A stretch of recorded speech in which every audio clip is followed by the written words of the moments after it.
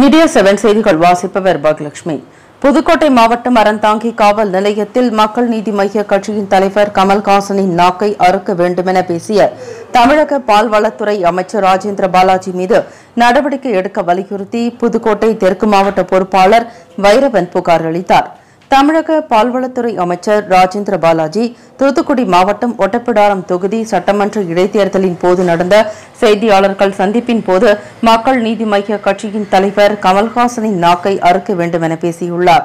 எனவே காவல்துறையினர் அவர் மீது வழக்கு பதிவு செய்து நடவடிக்கை எடுக்க வேண்டும் என அறந்தாங்கி காவல் நிலையத்தில் அக்கட்சியின் புதுக்கோட்டை தெற்கு தொகுதி மாவட்ட பொறுப்பாளர் வைரவன் அறந்தாங்கி பொறுப்பாளர் செந்தில்குமார் ஆகியோர் புகார் அளித்தனர். அப்போது கட்சி நிர்வாகிகள் ஹபீப் ரஹ்மான் சீதாராமன் காளிதாசன் சுரேஷ் கண்ணன் வேலரசன் கமலநாதன் பிரகாஷ்ராஜ் உட்பட பலர் இருந்தனர். புதுக்கோட்டை தெற்கு மாவட்ட பொறுப்பாளர் மக்கள் நீதி மையம்.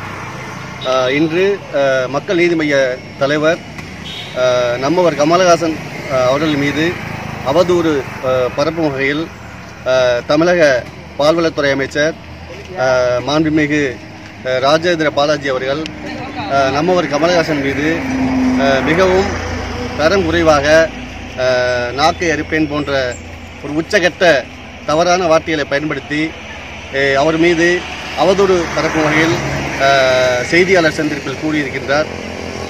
அவரை கண்டிக்கும் வகையில் மக்கள் நீதி மையம் புதுக்கோட்டை தெற்கு மாவட்டத்தின் சார்பாக இன்று அறந்தாங்கி காவல் நிலையத்தில் மனு கொடுக்கப்பட்டுள்ளது.